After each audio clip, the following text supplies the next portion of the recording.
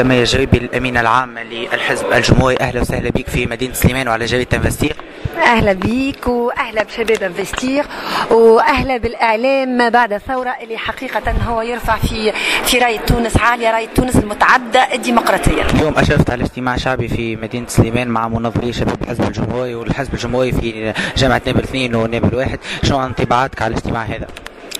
والله اولا آه، سليمان هي ماهيش ولاية هي معتمدية وهذا خيار في الحزب الجمهوري ان نلتقي مع المواطنين في مختلف الجهات لأن نمنوا اللي العمل السياسي تشاركي أو لا يكون أه؟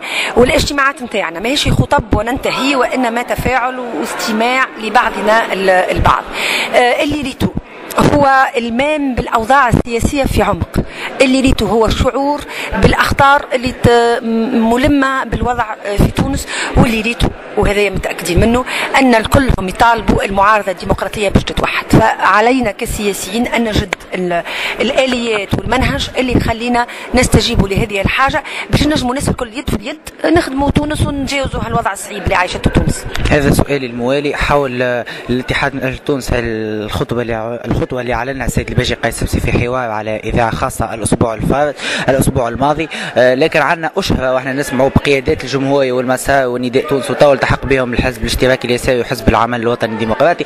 مشاورات ولقاءات وتنسيقية وخطوات إيجابية. لكن عمليا شنو اللي مازال؟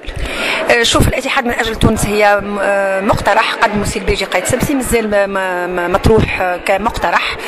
لم نناقشه بعد وبالتالي لا يمكن أن نتحدث على قرار.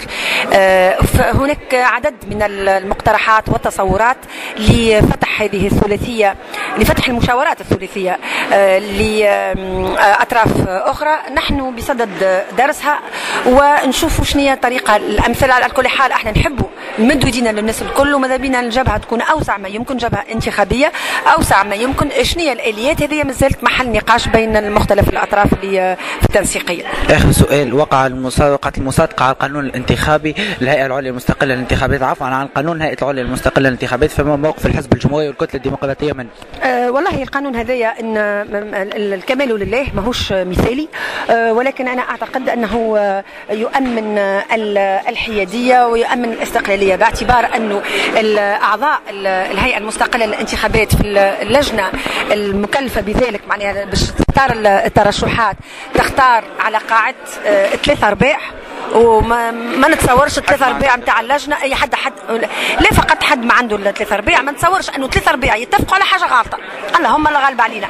لا تتفق أمتي على ضلالة. دونك هذايا آه ضمان أنه ما يرضخش لأي طرف كان. آه الناس الكل كي تتوافق معناها الناس الكل متوافقة معناها. السيد هذايا ولا السيدة هذيا فوق كل الانتماءات الحزبية والحسابات الحزبية. وبعد كي نمشيو في الجلسة العامة فما les deux tiers وبالتالي أنا أعتقد أن الآلية اللي مشينا فيها آلية جيدة ونتمنى على أن الهيئة تكون مستقلة وتخدم تونس من أجل انتخابات حرة ونزيهة.